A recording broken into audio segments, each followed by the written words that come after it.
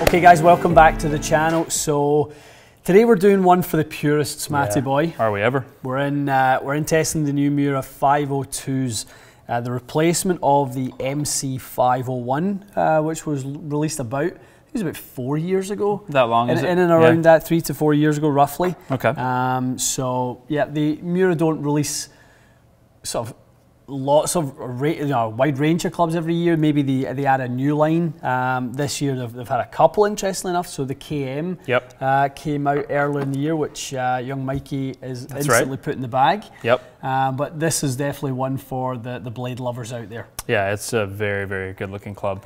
Came, and it came from an update from an already really good looking club. Yeah. But it, to me, looks visually like they've made some nice, you know, improvements. to it. Totally. I mean, I think the 501 uh, previous edition was was looked great in the bag and and um, you know really striking by its appearance. But then there were a few things that when you put it down, you realise a bit more offset, uh, very kind of square in its lines. And It is very square. Yeah, very boxy, and, and you kind of go, well, you know, there's some things, you know, that, that you know you might not love about it.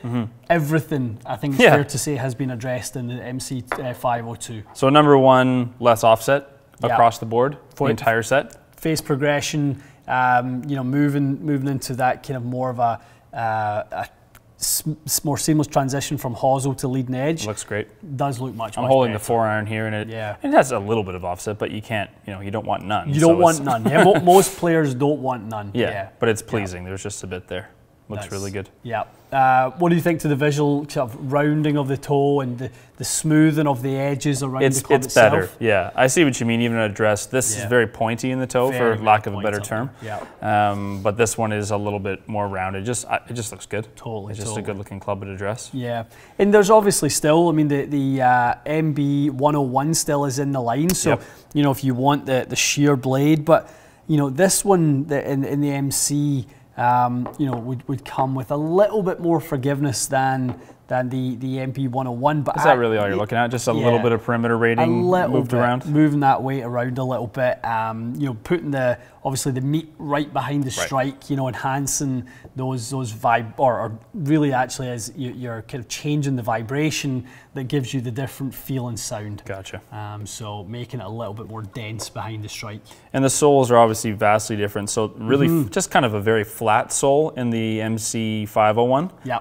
It's definitely got that camber, that Lots curve to it now. It's very noticeable. Yeah. Which I mean, it should be nicer divot taking, like a little bit smoother out of the turf for most people. Yeah, I mean, you, you talk about, or people talk about um, forgiveness in irons, and, and you know, this doesn't have forgiveness in the same way that other clubs have forgiveness, but it has design characteristics that will provide forgiveness. Uh, you know, the the Y sole, the, the sort of Yeah, pre-worn leading edge that's in there um, is, is gorgeous. The cambered sole, the, the movement of the mass, you know, and, and the, the trailers of the club. It's it's not without any consideration towards design and forgiveness. Yeah, no, it's it's very subtly done as well, which I think is nice. Definitely. I can see the owner of these maybe not wanting to upgrade, but maybe just thought, hey, these are almost my perfect iron. I know. Now this is their perfect it, iron. it kind of has been made uh, the perfect iron. Yeah. One one of the little kind of bonus balls with this one as well for the those of you who play blades in the traditional loft setting is the lofts are about a degree stronger than we would expect them to be. yes, that's right. Right, so you've got the the four iron there right now. That's at 23 degrees. Yes. So you know I think 23, 26, 29 in the four, five, six is about a degree stronger than we would maybe expect them to be. From this type of very small club, yeah, Yep, I yep. agree. So if we went, you know, 24, 27, 30, you know, we actually lose even more offset.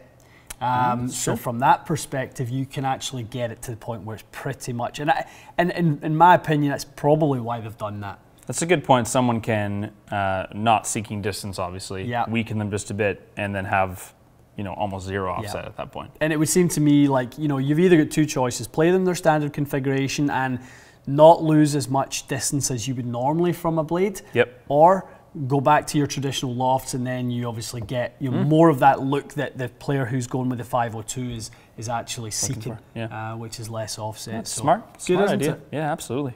Definitely. So you're going to have a hit, um, pitching wedge, seven iron, and the four iron. I've got it in my Mm-hmm. Hand here. Yeah.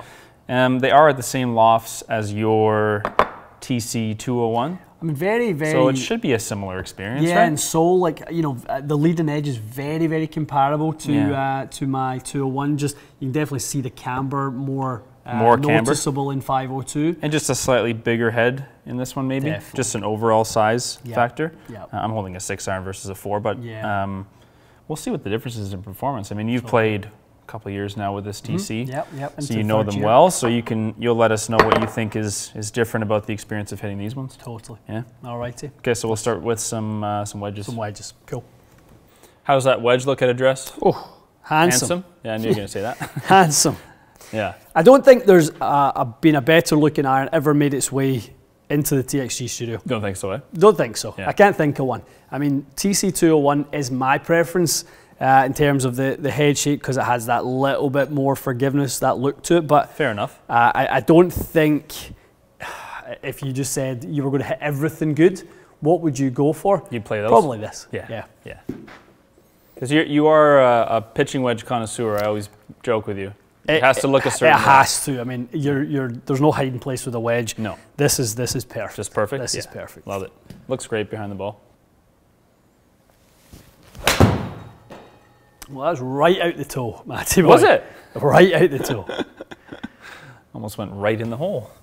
So you were, yeah, I mean, 15, I think that says 15 uh, millimeters toe. Um, generally speaking, you're, you're holding what is essentially a blade. Most people would look at that strike with a blade and go, you're screwed. But three yards down on what you expected, yeah, you still spun the ball plenty. I it's mean, done that- well. That's done totally fine. It's done absolutely. I You're just- on the golf course, you wouldn't go tell your playing partners, oh, I toed it. Yeah, no, exactly. You wouldn't do that, yeah. Totally, totally. No, that was that was good. It managed the miss really nicely. That's good to see. Similar. Was it? Yeah. Yeah. Okay. Yeah.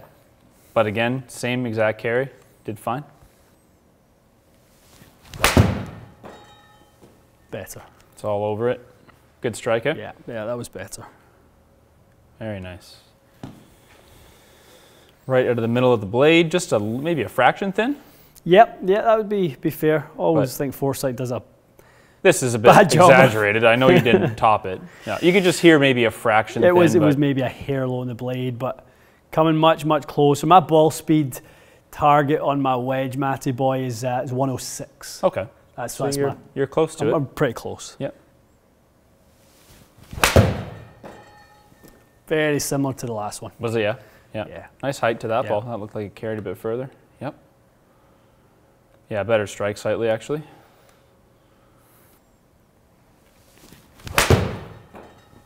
I just catch them a little bit thin, but they're Yeah. Oh, they're great. they're performing good. Yeah. Consistent. We always talk about that when we we hit blades. We want it to be really consistent. Yeah, if we look at, you know, the green is a lot bigger than this. So all those shots, a couple different strikes in there. You really kept it within, Mm-hmm. I would say, you know, mostly what 15 footers at most, Yep. something like that. It was, it was, it was, you'd be more than happy with the proximity that, that we were getting there. And these deviations aren't very high, so No. keeping the launch around the same, spin was always around the same, yardage was always around the same. hmm Nothing bad to say about it.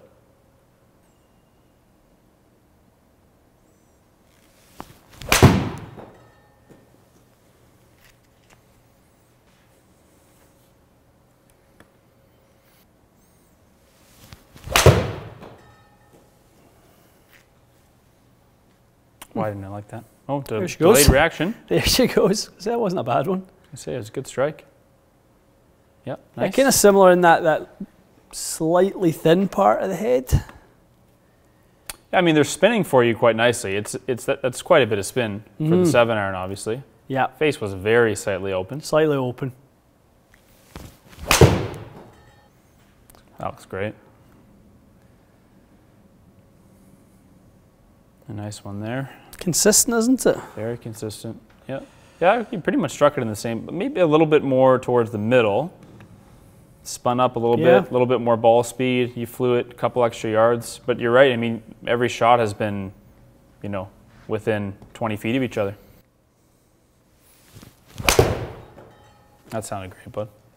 Nice strike there. Yeah, I mean, I just I feel like they're all pretty much coming out the same part of the head, and Like the results are Even just slightly in- ridiculously similar. so good. Even just slightly in the heel there, Slightly, yeah. barely mattered. Almost the same ball speed as the last shot. Uh, I guess technically you swung 0.6 faster, but 172 on the carry. I think this is going to be the same story we saw with the pitching wedge. Yeah. where you've got this little dispersion circle that's smaller than the green, and all your standard deviations are actually we have to go into the decimals. So same Starting ball speed, same Yeah. everything, same yardage across the board. Yeah. That's what you want with a bit of forgiveness. I think it's smart. I mean, it's it's kind of blade performance with I don't know a little sprinkling of forgiveness. Well, let's see the long iron. We got a four iron here. Okay. That made a great sound. That's probably the best one I've hit There's today. a really flush sound to that. Hey, you got your carry that we Yeah. kind of guessed around 205. 205 ish. We've got 207, which is nice. Mhm. 4,000 spin with a four iron is no joke. A little thin, Matty, I was going to say, also nice though. quite nice, yeah. Again, you can see the distance regulating. It's not gone too far on the left side. That sounded mashed. Almost. I feel like that was a carbon copy of the last one. Was it really? I feel like it, yeah. Sounded a bit better, but Did it? yeah, certainly more online. No, you're right. Kind of a similar strike, maybe a little higher up the head. Just a shade. But it is crazy how that launch angle was almost the same as the last one. The spin's almost the same. Yeah. A little more efficient, which is, I guess, why you carried it. But it's only a yard further. It's really nice too. Probably like shot one. Yeah, shot same one as and shot one. four felt very similar. Shot one and uh, sorry, yeah, shot two and three felt very similar. Shot one and four Yeah. felt very similar. You similar. can see right away, and the height on that ball versus the last couple. You got your launch up two degrees, so Yeah. your 15 degree launch still retained all the spin. A little bit higher strike and more centered. Mm-hmm. That, I think that's the highest ball speed you had so far with the iron. Yeah, I think so as well. I mean, it, it's, it's got plenty. It's a blade. It's not helping you really with anything, and you're still getting 1.4 efficiency. Mm-hmm. Kind of the theme of the of the review is just crazy, crazy consistent. I I mean, oddly enough, I know I know you warmed into the session, but oddly Mm-hmm. enough, you got more consistent in terms of these deviation numbers. Unreal. With the longer the iron got, technically were around one or zero with the four iron. They all flew the same yardage, yeah, and that's again this that's just a bit smaller than the green. That dispersion circle. totally. The height uh, was what? I know one was a bit low. Well, you're basically 100 feet. 98, 10, 108, and 99. So that's pretty good, Your best struck ones were all over 100 feet. right? Yeah. So if you if if you got really picky with the data, you flew the four iron at 110 feet, which is, I mean, nothing to be upset about with Totally, a blade. totally. That's for sure. honestly over over the moon with Yeah. with kind of the performance uh, on on all of those. I thought they felt fantastic. I'll have days where I probably you know strike them a little bit better than I did sure. today. They felt okay today, but you know maybe that hair on the thin side with all of them. Um, It's but good to see, though. It's nice Yeah. to see that it's playable. You don't have to be the absolute premium ball striker on earth No. to, to play them. and there was no like stingy fingers like that Nothing. horrible sensation you used to get when I used to kind of hit an iron, a blade slightly thin. It was like oh, really just feel it up your up your body, but no, not not a, a bit of it with the Miura. That's why when a couple that you said once the ball had flown, you said they were a little thin. I had a hard time telling. Is that right? Yeah. Yeah, because they still sound very soft. Yeah. Which is good. I mean, that's Yeah. what you're looking for. You want to know, obviously, you knew right away, yeah. but you don't, as you said, you don't want it ringing up your hands. That's Yeah. not that's not an enjoyable experience for anybody. Well, I, I can safely say it's the it's the most enjoyable blade I've ever tested. That's good. That's Um, high praise. You've definitely tested quite a few. Tested a few, yeah. Yeah. But I think anytime it comes with that M stamp, you, you know you're testing a Miura. I'm, I'm a Miura, Miura user myself Yeah. with 201s. I won't be trading these for my 201s, that's for sure. Just Fair enough. there's that, you know, I think my iron is the opposite of this, right? So you've kind of got the the sort of low toe and then it's kind of higher in the middle, so Yes. changing that CG, pulling it up a little bit. Yep. Mine has the opposite, you know, where you have the notch out of the, the right. middle. Exactly. That's where I feel like mine feel like there's lots of energy when I strike them. Mm. This feels like it's almost like a, a lack of energy. It's all on you. Totally, which which the better ball strikers really want. Yes. They they don't want they they produce the energy through great delivery characteristics. somebody who leans the shaft forward more than me would love these. I gotcha. Um, I, I do better with TC201. it makes total sense. Totally. Yeah, that's just a fitting thing. One thing I was going to ask you that cambered sole. Amazing. Do you think that's part of why you like them so much? I do. I, I Yeah. really do. Is especially in the. I felt like it more so in the seven and the four Mm. when I got, uh, you know, a hair shallower, so low point moved more towards the ball. Yes. I felt like I was really aware of the turf conditions or the, Yeah. the strike conditions. Interaction, People yeah. laugh about the. You know, we've got we've got kind of astroturf and we're talking about turf conditions, but you feel it when you've hit enough shots. Yeah. you're definitely your feel can sense when it's grabbing and when it's not. Yeah, I could definitely tell that was getting kind of in and out really nicely for you, which is something you've talked about, you know, for years now. Yeah. You've always talked about that with with different sets of irons. Totally, totally gorgeous. Gorgeous. Okay, well, guys, you can probably tell Ian's impressed. Uh, he's hit them all, so if, if you're impressed, then they're probably worth testing. Um, you probably go out and test a Titleist blade and a Yeah. Mizuno blade, and these are going to be a little bit more expensive. Yeah, there, there'll be a Um, li- yeah, you know, certainly maybe maybe six, seven hundred bucks more than than that sort of price set. point. Yeah, But if you're willing, I guess, to kind of make that concession, spend a little bit more. I mean, as a, as I was joking earlier, the sound off those is, is pretty ridiculous. I don't think I've heard anything softer than that before. no, no, it'd be fun it to you know a, pair up AVX and Yeah, can you imagine? at some point and, and just you know just like the lack of, of acoustic would be quite would be would be frightening. Phantom strikes. Yeah, seriously.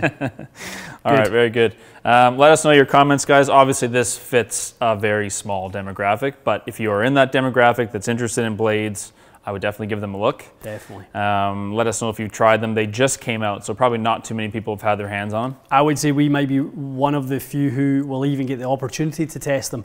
You know, I know Big Al uh, does some testing with. Uh, Hmm. Yeah, he's got a good relationship Yep, with them. yep, and he loves them as well. So um, yeah, not not many dealers that, that will be doing this type of testing. They're not. It's not a big box uh, line No. by any means. You're not going to find them really in Dick's or PGA Superstore. You- You're going to find it with retailers like ourselves. When would you have these for demo? Soon? I believe they, they are in now. So I think Okay. the demos actually came in with uh, with, With the these. test set. So you can uh, you can test these at TXG You now. can test them with us. Yeah. Very good. Okay, guys, thanks for watching. We'll see you again soon.